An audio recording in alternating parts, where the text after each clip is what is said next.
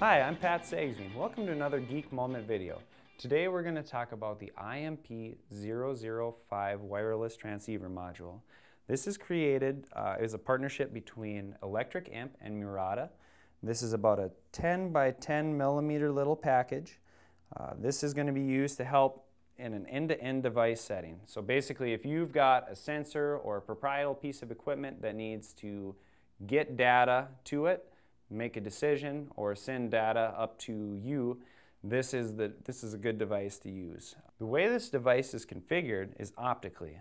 There's a phototransistor on the top and this chip when you uh, use either an iPhone or an Android device, there's an app you can either go to iTunes or Google Play, download the app. We'll have links for this below.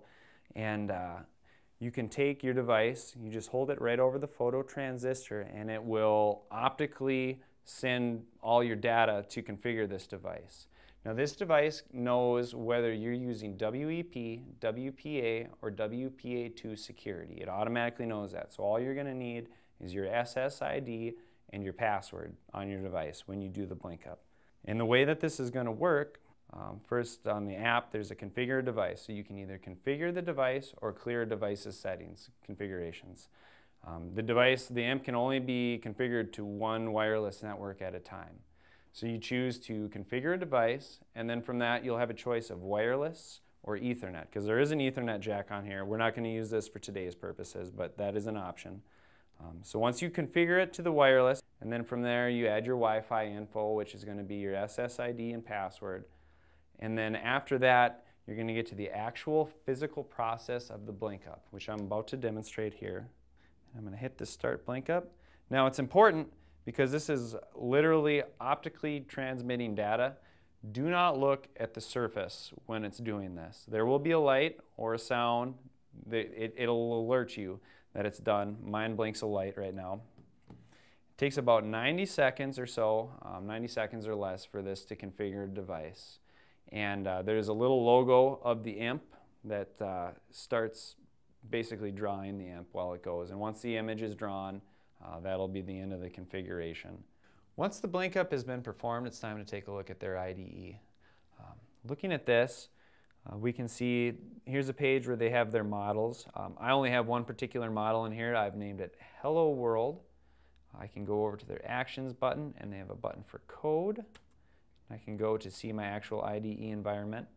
There's a device pane and an agent pane. The device pane is going to be responsible for the actual IMP module, and the agent pane is going to be um, code written for their server for the IMP cloud to respond to this. When going through the kit to get started, uh, it's important to note this is the IMP005 breakout kit, not the IMP005 easy kit. So the hardware that would be on their getting started page to make the LED light up and turn off, we don't have that hardware on this kit. Uh, so we won't be able to do do that project right out of the box. You would have to connect some things with that. So for today's example, I just use the IP lookup and if I go to my build and run, the code will be uh, linked on our EEWiki page.